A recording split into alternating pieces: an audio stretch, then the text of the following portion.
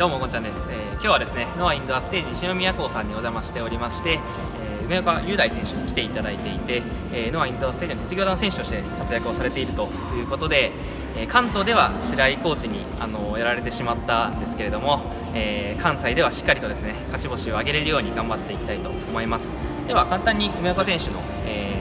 ーまあ、自己紹介をお願いできますでしょうか、はい、とノアインドアステージ、ハット神戸港、塚新港、宝塚港でコーチをして、実業団選手としても活動している梅岡雄大です、えー大学時代はアジア大学